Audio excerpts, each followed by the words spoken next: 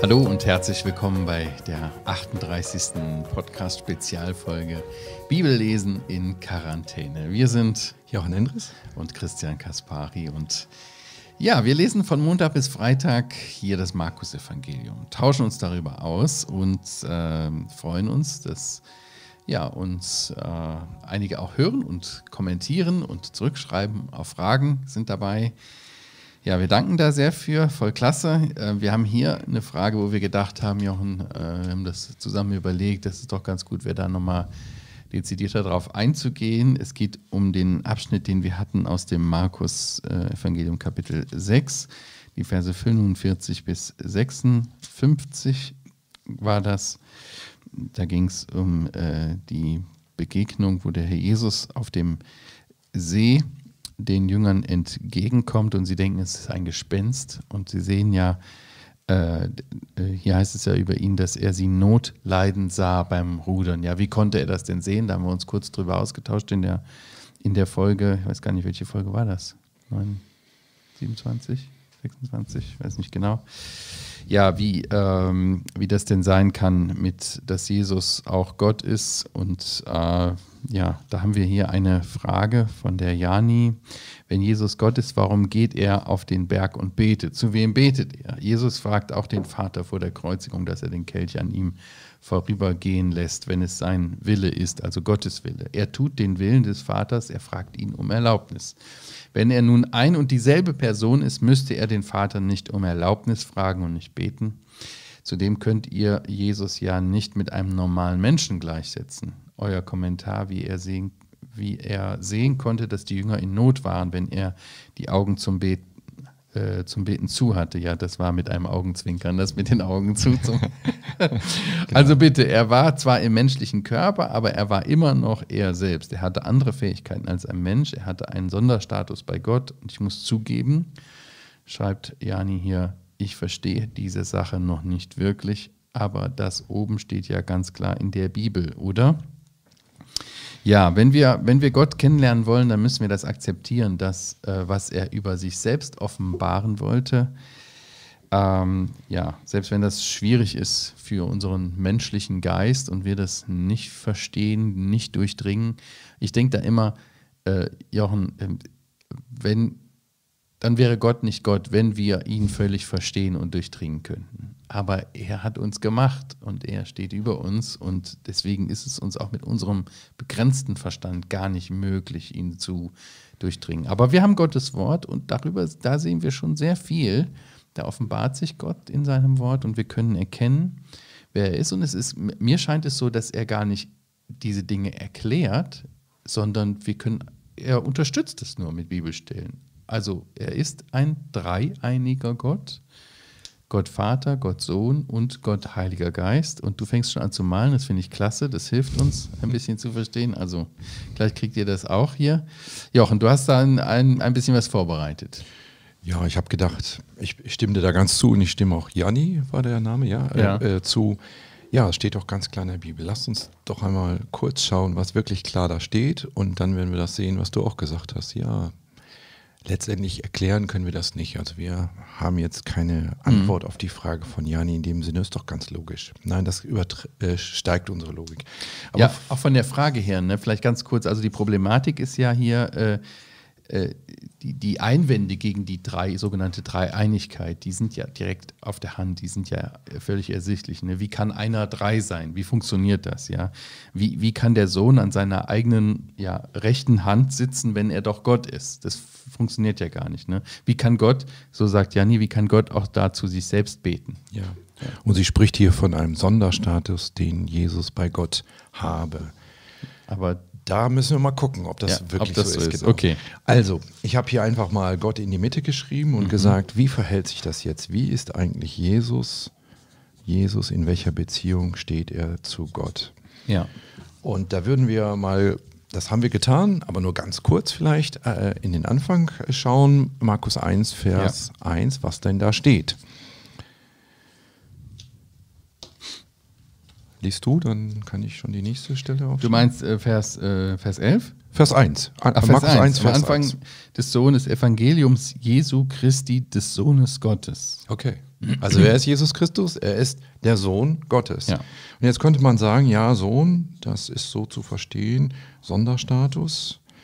Nein, Sohn ist so zu verstehen, das ist eben in der Sprache der damaligen Zeit so gewesen. Sohn ist gleich. Das können wir sehen in Markus 14 zum Beispiel, auch in den anderen Evangelien, Markus 14, Vers 61. Mhm. Da geht es um die Verhandlung, zu der kommen wir ja noch ähm, später, in die Verhandlung vor dem Synedrium, vor dem Hohen Rat. Und da heißt es, ähm, Vers 61, er aber schwieg und antwortete nichts. Mhm. Jetzt lasse ich dich weiterlesen. Wieder fragten ihn der hohe Priester und spricht zu ihm, bist du der Christus, der Sohn des Hochgelobten? Jesus aber sprach, ich bin es. Und ihr werdet den Sohn des Menschen sitzen sehen zu Rechten der Macht und kommen mit den Wolken des Himmels. Er fragt ihn hier, bist du der Sohn des Hochgelobten, der Sohn Gottes? Mhm. Und er sagt, ich bin es. Und dann heißt es ihm äh, später, wir haben die Lästerung gehört. Ja, Wer genau. sich Sohn Gottes nennt, der nennt sich Gott. Der ist Gott. Also ich habe hier meinen Strich und sage Markus 1, Vers 1 in Zusammenhang zum Beispiel mit so Stellen wie 14, Vers 61 macht deutlich, Jesus ist gleich Gott. Ich mache jetzt hier ein Pfeil hin und dazwischen ein Gleichzeichen und sage, Jesus ist Gott. Das warum war das für die Juden denn? Warum war das denn für die Juden so klar hier, die ihn da angeklagt haben? Markus 14 haben wir das gelesen. Wenn man sich Sohn Gottes nennt, dann ist klar, dass man Gott ist. Ja, aber mein Sohn nennt sich auch Sohn des Christian und ist ja nicht Christian. Genau, aber andere Sprache, andere Sitten, du, du wirst identifiziert, du bist derjenige. Aha. Man konnte zum Beispiel auch sagen, jetzt ist die Zeit von Christians Vater gekommen. Und dann konnte man sagen, ja, wieso Christians Vater? Ja, Christian ist Christians Vater. Das ist alles eins. Das ist, man dachte in, in Kategorien äh, von Vater und Sohn als eine Person. Also man konnte eine Zeitangabe so machen in der Zeit Davids, aber eigentlich war schon David tot und sein Sohn regierte oder ja. so. Das konnte man durchaus tun. solche Beispiele findet man auch in der Bibel. Ja. Und Sie sehen hier, als er sagt, ich bin der Sohn Gottes, mhm. sagen Sie, jetzt haben wir es gehört. Er lästert Gott, er bezeichnet sich selber als Gott. Das haben die so verstanden. Ja, wenn wir weiter gucken in Kapitel 1, da hatten wir auch noch etwas anderes, nämlich, dass sich der Himmel öffnet. Vers 11, das mhm. hattest du, glaube ich, schon gerade. Schon ne? gemeint, ja. Ja, dann liest doch mal bitte. Wo Gott sagte, die Stimme kam aus dem Himmel, du bist mein geliebter Sohn, an dir habe ich Wohlgefallen gefunden. Nun, wenn jemand aus dem Himmel heraus ruft, was ist er dann? Wer oder was ist er dann? Dann ist er doch Gott, oder? Ja. Und wenn er den, der dort auf der Erde seinen Sohn nennt, was, wie würde man ihn dann nennen? Dann der Vater. Man, der Vater, oder? Ja. Also ich schreibe jetzt hier hin, hier war von Jesus die Rede, dem Sohn, jetzt ist vom Vater die Rede. Und was müssen wir hier machen? Wir müssen auch hier einen Pfeil machen mit einem Gleichheitszeichen und sagen, der Vater ist Gott. Mhm. Das lehrt die Bibel zumindest, äh, Markus 1, Vers 11. Ja. ja, und dann hatten wir auch in dem Kapitel schon von dem Geist gelesen. Und der Geist, ich glaube, Vers der Geist treibt ihn in die Wüste, meinst du? Genau, Vers 12? Vers 12 und Vers 10. Vielleicht mhm. liest du mal auch noch Vers 10 und 12. Ja, und sobald äh, er aus dem Wasser heraufstieg, sah er die Himmel sich teilen und den Geist wie eine Taube auf ihn herabfahren. Und dann bekennt sich der Vater zu dem Sohn und Vers 12 heißt es, und sogleich treibt ihn der Geist in die Wüste hinaus. Was können wir daraus schlussfolgern? Der Geist ist im Himmel, er mhm. muss also Gott sein. Ja. Der Geist gibt dem Sohn Befehl sozusagen, treibt ihn. Er muss also kein Mensch sein oder irgendeine Kraft, sondern er ist eine Person, die Gott ist. Also hier muss ein Gleichchen. Und gleichzeitig macht diese Geschichte eine schon am Kapitel mhm. 1 deutlich, nicht wahr? Dass eben Vater und Sohn nicht dasselbe sind. Also hier müssten wir ein Strich durchmachen. Vater und Sohn sind zwei Personen. Mhm. Also zwei Handelnde in dieser Geschichte. Vater und Geist sind nicht gleich, denn der Vater ist in der ganzen Geschichte im Himmel noch, während der Geist ihnen herabkommt. Mhm. Und Sohn und Geist sind nicht dasselbe. Also da mache ich auch einen Strich durch, weil der Geist dem Sohn befiehlt. Ja, das wird Jani jetzt vermutlich nicht äh, sofort logisch erscheinen und niemand von uns erscheint das logisch, weil hier mhm. ist ein Gleichzeichen und ein Ungleichzeichen. Aber es ist genau das, was die Bibel sagt. Mhm. Gott ist einer, das sagt sie eindeutig vom Alten Testament bis zum Neuen Testament, aber sie sagt auch, Gott ist Vater, Geist und Sohn oder wir sagen immer in der Reihenfolge Vater, Sohn und Geist. Mhm. Wir nennen das drei Einheit und dieses Wort ist ja an sich schon in sich widersprüchlich drei oder eins. Ja. Das vielleicht so als kleine äh, grafische Darstellung, aber das hat sich ja noch einmal äh, in einer Besonderheit gezeigt. Wir haben also jetzt, wenn wir Jesus Christus anschauen, dann wissen wir, er ist Gesundheit, er ist Gott. Mhm. Er ist nicht der Vater, er ist nicht mhm. der Geist. Aber Jesus Christus ist etwas Besonderes, weil er ist der Sohn Gottes und als Sohn Gottes kommt er aus der Ewigkeit und geht in die Ewigkeit. Er ist ohne Anfang oder Ende. Deswegen male ich hier so einen Pfeil, der einfach durchgeht. Der Sohn ist Gott ewig, hat nie angefangen, hört nie auf. Kannst richtig schön malen. Das, das hatte ich ja schon mal ein bisschen vorgemalt, damit ich nicht ganz so. ja, aber jetzt gibt es einen Zeitpunkt, den könnte man Galater 4, Vers 4 äh, bezeichnen. Mhm. Da steht nämlich, in der Fülle der Zeit passierte nämlich Folgendes, dass ja. der Sohn Gottes geboren wurde als Mensch. Deswegen habe ich hier eine Krippe gemalt. Christian hat das erkannt. Genau. Wunderbar. So, und von diesem Zeitpunkt an gibt es den Sohn Gottes auch als Sohn des Menschen. So bezeichnet er sich ja. So hattest du das auch aus Markus ja, 14 Markus, vorgelesen. Und auch diese Existenz hört nicht auf. Also, er ist geboren worden, er ist gestorben, er ist auferstanden, er ist in den Himmel gefahren und er ist im Himmel als Mensch. Ja. Jesus Christus. Als verherrlichter Mensch. Als das heißt, er hat einen neuen Leib bekommen. Das sehen wir ja auch äh, nach der Auferstehung, äh, dass der besonders war. Der konnte durch Wände gehen. Genau. Und er konnte trotzdem essen und das Essen ist nicht durchgefallen. Also er war wirklich äh, leiblich, anfassbar. Genau. Thomas hat äh, die Male berührt. Genau, dieser Leib hatte sogar noch Kennzeichen des alten Leibes sozusagen. Ja, ja. Aber doch war es ein, ein neuer, genau. verherrlichter. Und als Gott hätte er nicht einen neuen Leib gebraucht oder so. Als Gott hatte er keinen Leib. Ja. Gott ist Geist. Gott ist Geist. Ja. Aber als Mensch eben existiert er ewig. Auch das ist natürlich jetzt was, was wir nicht weiter erklären können. Aber Janne hat dir das gesagt es steht doch in der Bibel so klar. In der Bibel steht es tatsächlich so klar. Wir könnten mal lesen. Das ist jetzt, glaube ich, nicht ähm, im Markus-Evangelium so deutlich zu finden. Johannes. Aber Johannes-Evangelium, ja. ne? wir haben uns nicht abgesprochen, er sagt sofort ja. Ja, lass, äh, liest uns doch nochmal bitte vor Johannes 1, Vers 1 und Johannes 1, Vers 14, die ganz bekannten Stellen. Ja. Im Anfang war das Wort und das Wort war bei Gott und das Wort war Gott. Ich habe das hier hingeschrieben er war bei Gott. Also mhm. das erinnert uns daran, dass er einerseits Gott, also dass es da einen Unterschied gibt. Wenn man irgendwo ist, muss es irgendwie drei Personen geben, mhm. sozusagen.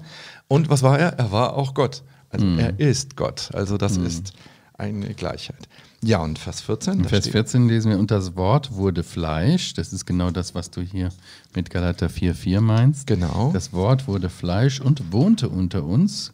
Oder das heißt auch wörtlich stiftshüttete unter uns, zeltete, also zeltete genau, ja, ja. unter uns und erinnert uns an äh, die Al im Alten Testament auch äh, die Stiftshütte unter dem in dem Volk Gottes war. Also das Wort wurde Fleisch und zeltete unter uns und wir haben seine Herrlichkeit angeschaut, eine Herrlichkeit als eines Eingeborenen vom Vater voller Gnade und Wahrheit. Also die Herrlichkeit als Sohn Gottes war in ihm zu sehen, mhm. aber er war gleichzeitig Mensch, inkarniert, sagt man, ins Fleisch gekommen. Äh, und er bleibt Mensch mhm. in mhm. Fleisch, aber wie du schon sagtest, in dem Auferstehung. So, im Auferstehungsleib. Und genau das haben wir im Markus-Evangelium gesehen. Zum Beispiel in der Stelle, die wir hatten. Lesen wir nochmal Markus 6, Vers 48, was Anlass zu dieser Frage äh, war. Wie heißt es dort? Als er beim Ruder Notleiden sah, denn der Wind war ihnen entgegen, kommt er um die vierte Nachtwache zu ihnen, indem er auf dem See einherging. Okay. Kurze Frage an die Experten unter uns. Wer kann auf dem See einhergehen? Natürlich kein ich Mensch. Ich habe schon mal versucht. ja, wird nicht bin abgesoffen. ja, ohne Surfbrett. Petrus hat es auch versucht. Ja. Also ganz klar, er hat göttliche Kennzeichen. Ja. Er ist Gott, er kann auf dem Wasser gehen. Und wir hatten dann noch Hiob gelesen, wo das gesagt wird, dass Gott so groß ist, dass er auf dem Wasser gehen kann, wenn er will. Wir könnten zum Beispiel auch Markus 4, 41 anführen, habe ich mir extra hier hingeschrieben, damit ich den Vers nicht vergesse. Was war da passiert? Da war der Sturm gekommen und er hat dem Sturm einfach gesagt, sei jetzt still. Ja. Wer kann das machen? Ich könnte das auch machen, aber der Sturm wird nicht auf mein Wort reagieren, nicht wahr? Aber hier steht der, der Gott ist, der sprechen kann und alles ist so.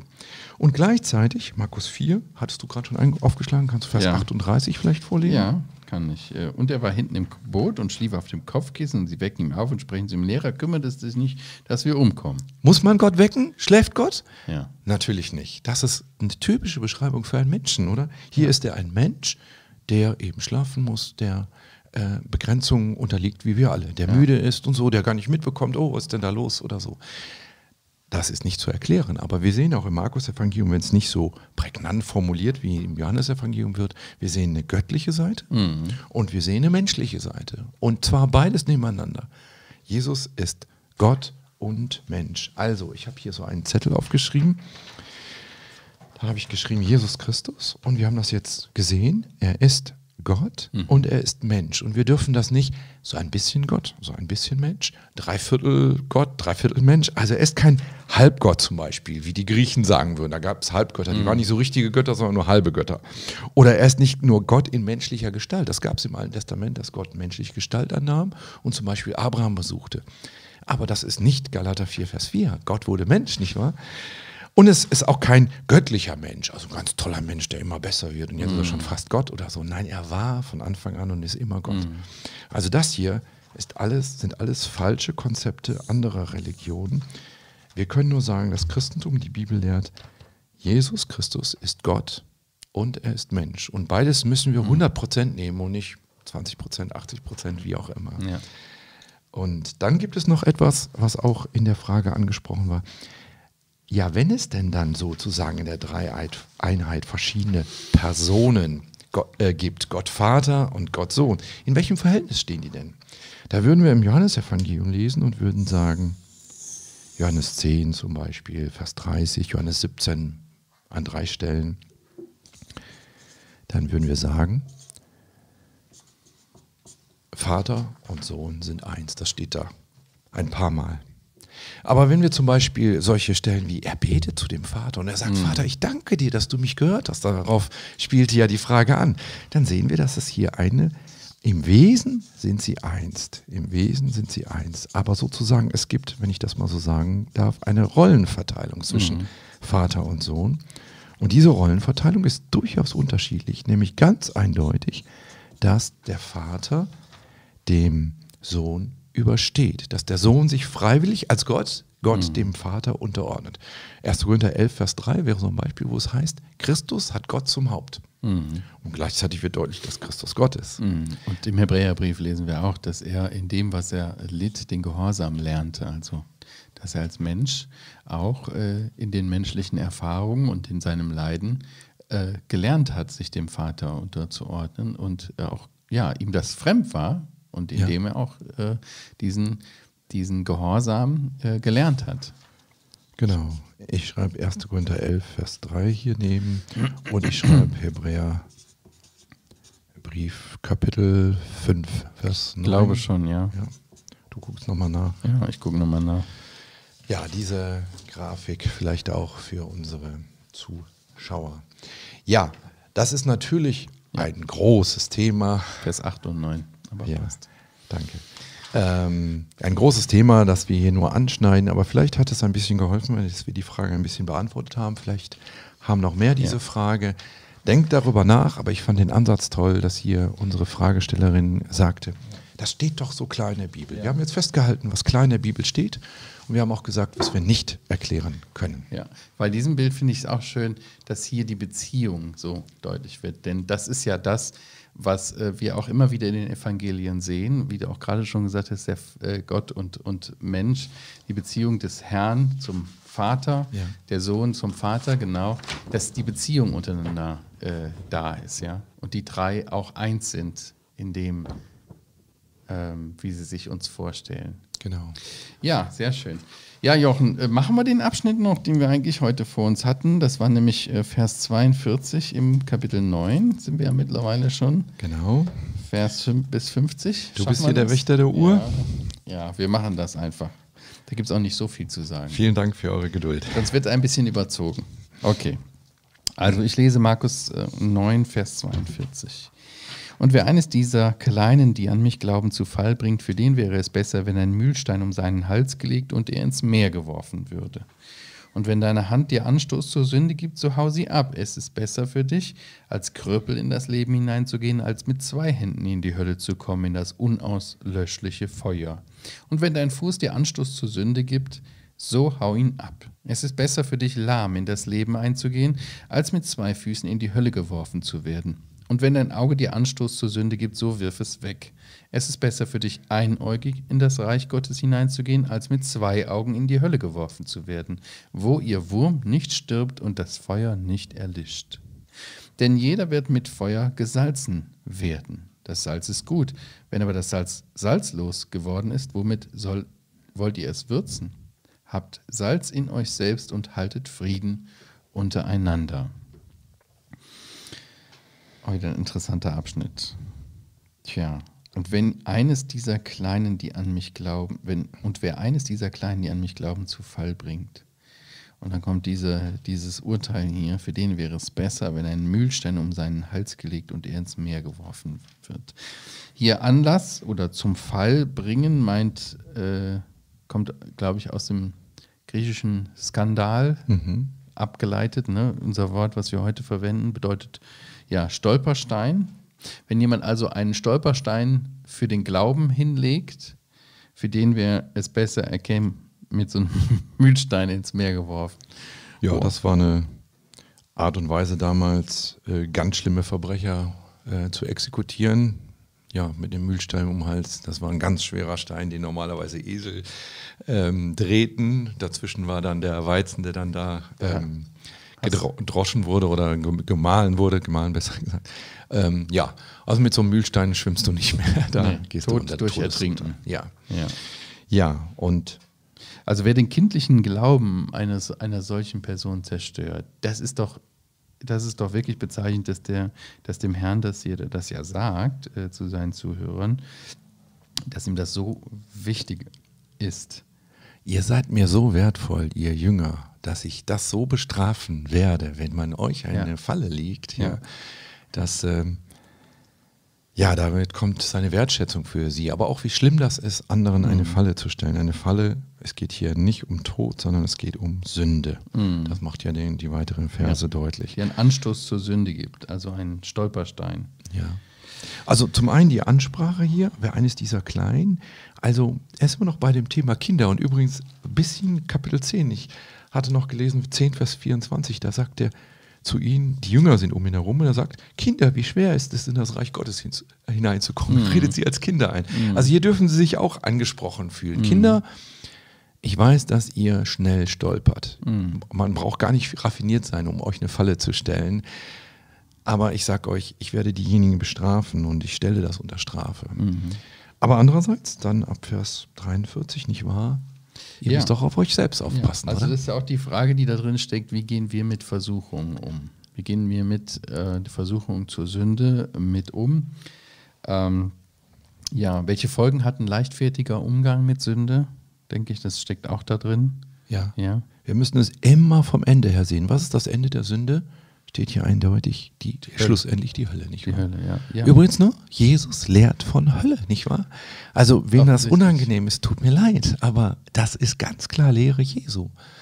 Und ja. auch ohne Harm, Verharmlosung hier drin, nicht wahr? Wo ja. der, wie heißt es hier, wo der Wurm nicht stirbt und das, das Feuer, Feuer, nicht erlischt. Nicht erlischt, ja. Das ist äh, eine deutliche Beschreibung, ja. Warum hat der Jesus so deutlich über Hölle gesprochen? Warum hat er so deutlich davor gewarnt? Ja, vielleicht habt ihr euch das auch schon mal gefragt.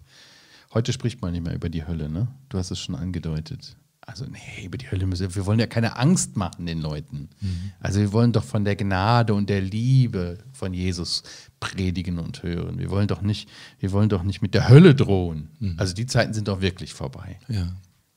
Ja, aber ich finde das schon sehr eindeutig, man könnte schon fast sagen bedrohlich, wie ja. Jesus selbst hier redet ja. und sagt, Leute, also das ist ganz entscheidend, wie ihr mit den Versuchungen zur Sünde umgeht. Und das sind ja sehr äh, krasse Maßnahmen, die er hier ja. empfiehlt. Ja? Ganz sicherlich ist das Bildersprache, nicht wahr? Also er meint nicht wirklich, dass wir uns die Hand abhacken. Das merkt man vielleicht an dem, also wenn man, wenn man in die falsche Richtung guckt, wenn man auf was Falsches achtet, zum Beispiel neidisch ist oder so, ja. dann würde ja gar nicht reichen, wenn ich dann ein Auge ausreiße.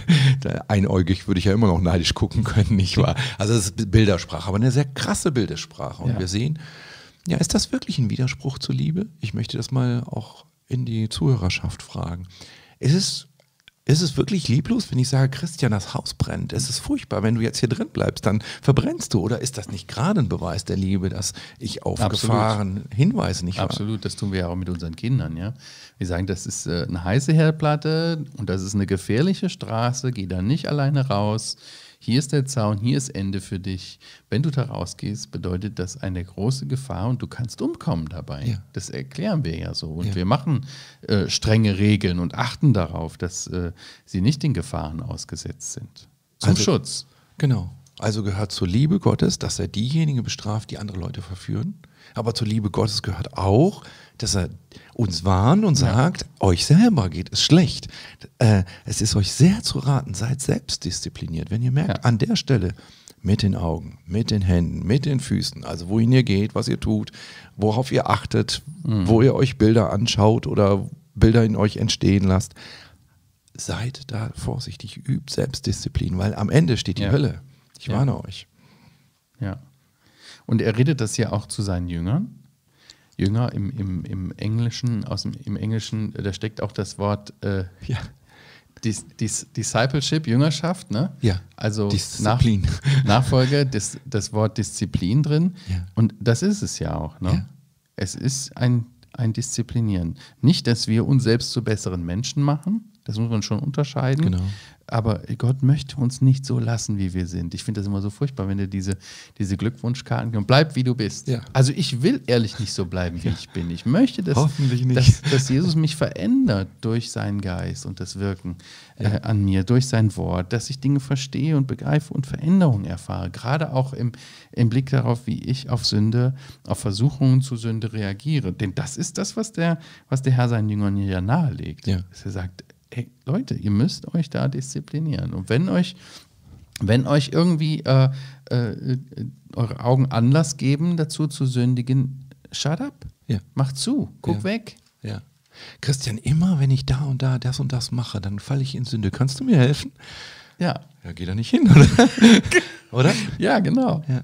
Da hilft es auch nicht, wenn wir sagen, ja, Herr, hilf uns dabei genau. oder so und das Fromme trotzdem wieder tun. Ja, ja. Das ist einfach auch heuchlerisch und machen wir uns selber was vor. Ja sondern da muss man einfach Hand anlegen ja. und praktisch werden. Ja. ja. Ja, wie können wir denn sicher sein, dass wir nicht in der Hölle landen? Ich meine, der Jesus ist gestorben, er ist auferstanden und wenn wir ihn annehmen, dann sind wir verbunden, dann sind wir hier auch äh, in diesem Beziehungsdreieck mit Christus ja, äh, und dem Vater und dem Heiligen Geist, der in uns Wohnung gemacht hat. Ja, wenn wir aus irgendeinem Grund diesen, diesen Glauben verwerfen, Geht das? Kann man in der Hölle landen? Ich ja. meine, er spricht ja hier zu den Jüngern. Ach so, okay, ich verstand deine Frage jetzt nicht, ja. Oder? Wie ist das zu verstehen? Worauf wolltest du hinaus? Auf äh, die Sünde wieder den Heiligen Geist? Nein, darüber haben nee, wir gesprochen. Da haben wir, da haben wir deutlich gemacht, ja. dass das äh, dass das für ja, Wie können wir uns sicher sein, dass wir da nicht landen an diesem furchtbaren Ort? Ja, dass wir wirklich Jünger sind, dass wir diese, dieses in uns spüren, diesen, ja, ich möchte nicht sündigen, ich nehme die Worte Jesu ernst, wie er mich errettet, auch durch diese Zeit mhm. jetzt hier. Ja. Ist das eine Antwort, die weiterhilft? Vielleicht. Wir werden sehen. Müssen wir noch über Salz reden? Haben wir noch Zeit zum Salz reden? Oder ja. ja, die letzten zwei Verse meinst genau, du? Genau, ja. ja. Ja. Das ist ein interessanter Ausdruck, ne? Wird mit dem Feuer gesalzen werden. Wie kann man denn mit Feuer salzen? Ja, ja. Ähm, also mir hat geholfen einfach der Gedanke, dass das hier eine Zusammenstellung von verschiedenen Sätzen ist, die der Jesus an anderer Stelle gesagt mhm. hat. Weil wenn wir Matthäus und Lukas lesen, dann finden wir die im ganz anderen Zusammenhang. Und das hilft mir, dass ich hier vielleicht drei Aussagen über Salz äh, wahrnehme. Also mit Feuer salzen, das würde ich so übertragen mit, ja, durch eine Feuerprobe geben, nicht wahr? Also wenn man Salz in Wunden streicht, oh, dann wird die doch ein bisschen schlimmer. Aber okay, ich bin vielleicht abgehärteter. Mm. Also es gibt Proben von Gott. und die machen ein Jünger fester, standfester. Mhm. Und darum geht es ja hier. Versuchung nicht gleich ähm, mhm. anheimzufallen. Das ist Vers 49. Vers 50, wenn da davon die Rede ist, dass Salz salzlos geworden ist oder werden kann, dann kann ja nicht mehr von Gott die Rede sein. Also ja. Gott kann nicht salzlos werden. Also hier, hier muss es sich um ein anderes Bild handeln. Vielleicht eben, dass man dem Toten mehr Salz gewinnen konnte und da, also Bestandteile, aus der, die, wo viel Salz drin war, aber auch das Salz rauswaschen konnte. Und dann hatte man nur noch nichts Salziges mehr, also eigentlich gar kein mhm, Salz mehr. Damals war Salz auch sehr wertvoll. Genau. Auch, auch noch gar nicht so lange her, dass es unheimlich wertvoll war. Ach, ne? eigentlich. 200 Jahre oder 150 genau. Jahre oder sowas war Salz sehr, sehr wertvoll. Man, damals, zu der damaligen Zeit, hat man äh, Leute sogar bezahlt mit Salz. Aber das Salz war nicht so nicht so rein wie unser heutiges genau. Salz, sondern das hat an Würzkraft verloren, war oft verunreinigt ja. und nicht so sauber. Und äh, dann ist natürlich die Frage berechtigt, ja, womit soll man denn Salz noch würzen? Also genau. wenn das Salz äh, fade geworden ist, dann hilft es nichts mehr. Ja. Würdest du auch sagen, dass das in diesem Kontext wie auch an anderen Stellen in der Schrift auch für das Zeugnis steht? Genau, nicht wahr? Da habe ich auch dran gedacht. Matthäus 5,13, vielleicht mhm. ihr seid das Salz der Erde, nicht wahr? Also wenn so ein Jünger schlaff geworden ist, ja. ausgewaschen worden ist von den ganzen Versuchungen, da hat er nichts mehr zu sagen. Dann ja. sagen die Leute, naja, du kommst nicht in die Hölle, also so wie du lebst, tut mir leid, ja, also yes. ich sehe da keinen Unterschied. Also irgendwie bist du, ist bei dir die Salzkraft das Prägende, was du auf die Umwelt sein solltest, rausgewaschen. Ja. Oder? Ja, womit wollen wir das dann noch würzen? Ne? Genau. Deswegen fordert er auch auf, habt Salz in euch selbst und haltet Frieden untereinander. Ja, offensichtlich. So könnte, genau, so könnte man vielleicht dann noch den dritten Aspekt hier, haltet Frieden untereinander, ja. wenn was salzig ist, das brennt ja auch. Ja. Wenn man Salz in die Augen bekommt, mhm. dann sagen, oh, oder wie gesagt, in Wunden oder so, dass man aber bei alledem ein prägendes Beispiel sein sollte, aber nicht ein abstoßendes. Haltet ja. Frieden untereinander, ja. Also, das kann nicht sein, dass die Christen als diejenigen bekannt sind, die überall Streit suchen. Seid dabei liebevoll. Äh, Kolosser 4, Vers 6 fällt mir da ein. Würde ich ganz gern noch dazu mhm. lesen, weil, weil da auch diese beiden Aspekte sind, wo man äh, von Salz redet und aber auch von einem anderen. Da heißt es, Kolosser 4, Vers 6, euer Wort sei allezeit in mhm. Gnade mit Salz gewürzt, damit ihr wisst, wie ihr jedem Einzelnen antwortet. Also mit Salz gewürzt ist nicht so Friede, Freude, Eierkuchen, aber auch in Gnade, nicht streitend. Alles klar. Wunderbar. Er streitet jetzt mit mir um das Ende. Ja. Nein, wir, sind, wir haben heute diesmal weit überzogen, aber verzeiht uns. Äh, dafür gibt es eine Antwort auf eine Frage, die gestellt worden ist von euch. Ja, wir sind am Ende angekommen. Vielen Dank fürs Zuschauen. Gerne könnt ihr uns weiterempfehlen oder uns auch schreiben, eure Fragen und Anmerkungen, Anregungen hinterlassen oder mailen podcast.heukebach.org. Wir sagen Tschüss, bis zum nächsten Mal. Tschüss.